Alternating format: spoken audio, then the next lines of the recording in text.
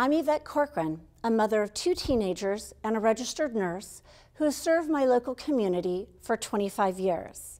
As a long-term resident of San Francisco, I've watched in dismay as our city has deteriorated over the years.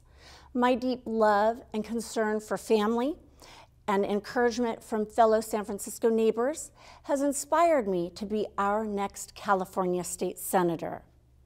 One of my primary policies is keeping us safe. As your state senator, public safety must come first for a civilized society. This policy includes better support for first responders, crime victims, and those suffering with severe mental illness.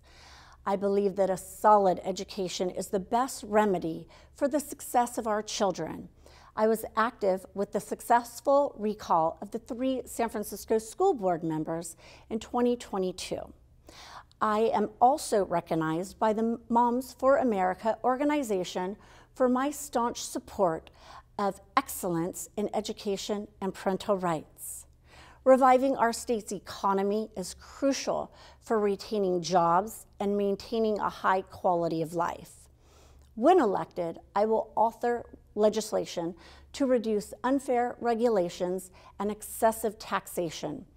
Gas, groceries, and living in a home should not be out of reach for average Californians.